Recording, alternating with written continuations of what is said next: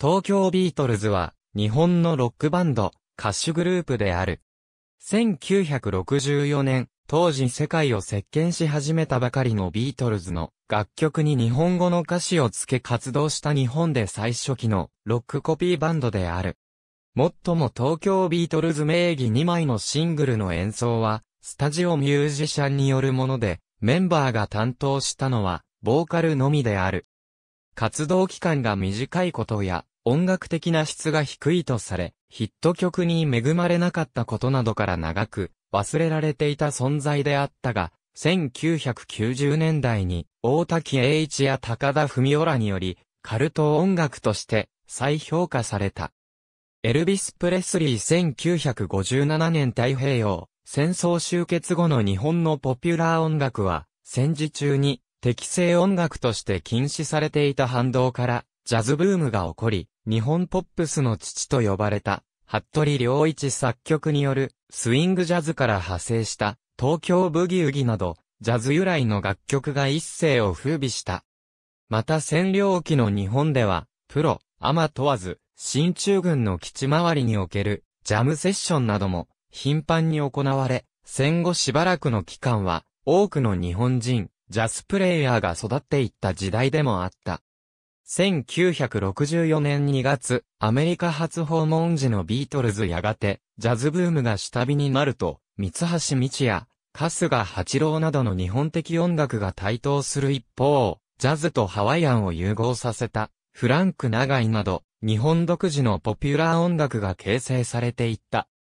そんな中、戦後も10年を過ぎた1956年、突如としてアメリカでエルビス・プレスリーが登場し、日本においてもジャズからロカビリーへと若者の音楽趣向が変化していったが、当時の日本のポピュラー音楽界では、歌い手と演奏者は別個のものという概念があり、発声や音程が重視されることから楽譜による模倣が可能だったクラシックやジャズのプレイヤーに、情熱や迫力といったウェイトが大きい従来の音楽とは異なるロック音楽を模倣することは困難であった。やがてロックの基盤を作れないまま60年代を迎えていた1964年2月の初め、イギリスリバプール出身の4人組グループ、すなわちビートルズがアメリカのビルボードチャートを独占し始めたというセンセーショナルなニュースが日本ポピュラー界にも入り、これに便乗しようと、雪村いづみの事務所である、基礎プロが若手歌手を集めて、急遽、東京ビートルズが結成された。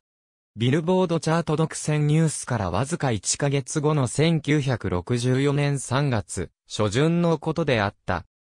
ウェスタンカーニバルが行われた日本劇場を前述した3月、初旬のメンバー結成後、プロダクションにより、約2週間の練習が行われ、3月15日から横須賀市にあるキャバレー、グランドオスカーに出演し、修行を重ね、日本ビクターからレコードデビューすることが決まり、4月3日には、築地にあるビクタースタジオでデビューシングルであるビートルズの日本語カバー、抱きしめたいと、 Please Please Me の2曲がレコーディングされ、4月下旬に発売された。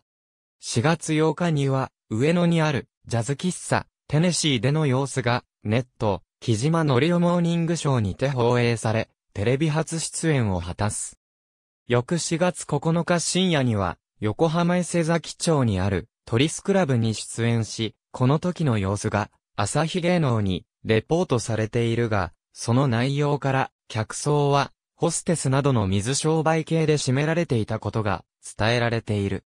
7月には第2弾シングルとして再びビートルズの日本語カバー、キャントバイミーラブと、ツイストシャウトのカップリングが発売されたが、結果的にこれが彼らの最後のシングル版となった。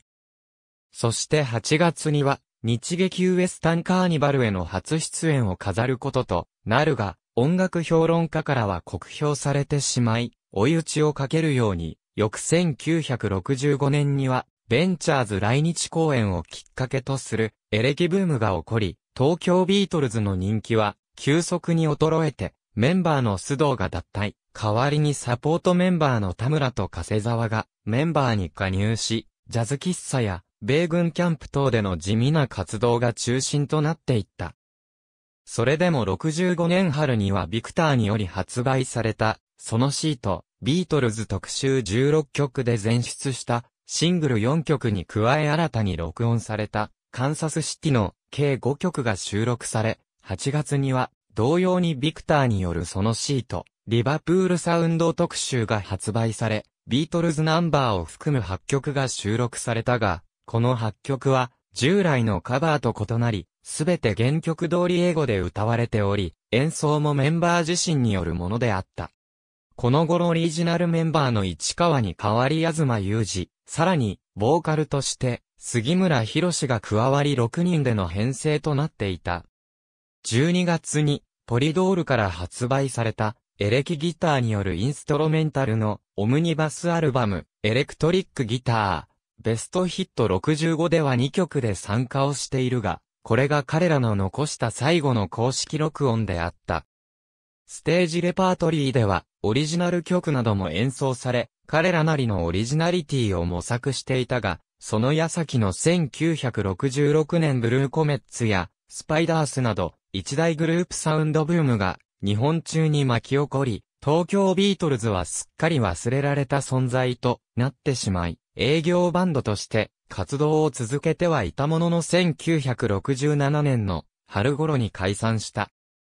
後日談として、ギタリストの野村義雄が、友人のバンドメンバーの体験談として、東京都内某所のスタジオで、警備員として、スタジオで働いていた、年配男性が、おもむろにスタジオに入るなり、突然ドラムを叩き出したので、驚いた友人が、年配警備員に、音楽をされているんですか？と尋ねると、俺は昔、東京ビートルズというバンドをやっていたと答えたという逸話が語られているが、真偽のほどはわからず、その警備員がメンバーの誰なのかも明らかにされていない。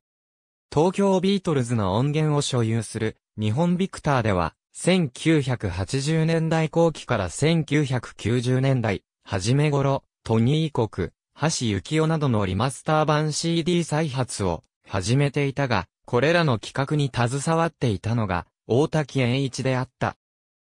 一連のビクター系音源リマスター再リリースの最後の切り札として、東京ビートルズを考えていた大滝は1992年の夏、日本放送のラジオ番組ラジオビバリーヒルズのゲストとして招かれ、同番組のホスト高田文夫から、私は築地の松竹セントラルの一番前の席で、東京ビートルズの生演奏を見た。もちろん本物のビートルズも武道館へ見に行った。両方のビートルズを見ている生き証人である。と聞かされ仰天し、意気投合した大滝、高田による東京ビートルズ再発売に向けた様々なプロモーションが行われ、1993年、大滝本人によりプロデュースされ、抱きしめたい、Please Please Me, Can't Buy Me Love, Twist and Shout のシングル4曲を収めた、Meet。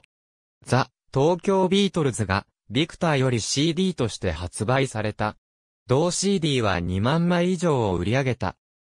ビートルズ楽曲のオリジナル歌詞は英語であるが、当時の日本ポピュラーミュージック界では、洋楽の日本語訳によるカバーは至極当然のことであり、東京ビートルズにおいても、訳詞を手掛けたのは、坂本九の素敵なタイミングや、中尾ミエの可愛いベイビーなど、訳詞総数400を超える著名な訳詞家、さざ波健治であった。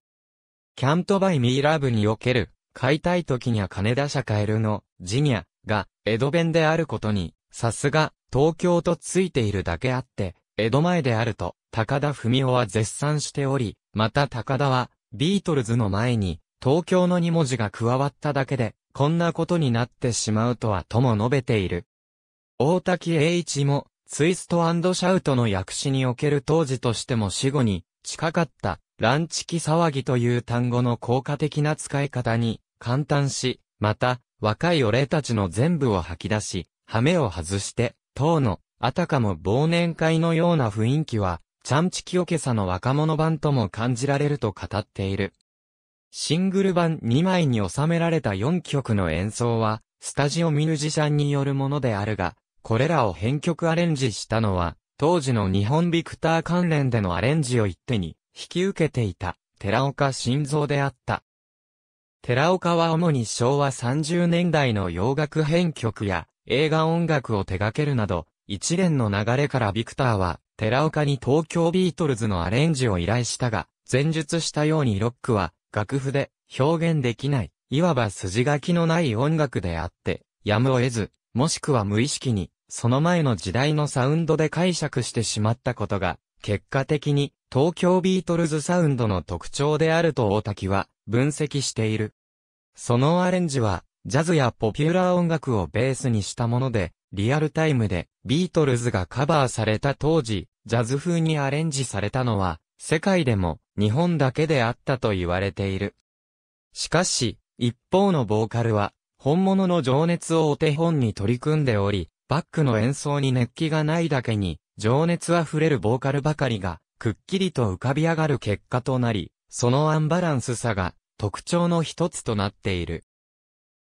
また大滝は、プリーズプリーズミー冒頭のコーラスパートでの、ヤーサーシーサーをカー、クーシーテーの一本調子が、とうとうさー、まあはーという、娘浄瑠璃を思い起こさせて、なるほど文化というものは深いものがあり、こういうところにも顔を出してしまうのかと感心し、新しい音楽を必死に取り入れようとする彼らの姿を、ちょんまげ姿で、フォークダンスを踊るのに等しい、西洋文明を必死に取り込もうとしていた、明治の我々日本人の先祖の姿になぞらえ、日本の文化は、落語のゴンスケ芝居のようなものなのではないか？すべての輸入文化はこの問題を抱えており、こういう表現に図らずもなってしまう恐れがあり、あとは、程度の問題であって究極は、全員がこの姿なのではないか？と、自分自身への自戒の意味も込め、現在の日本ポピュラー音楽界を痛烈に、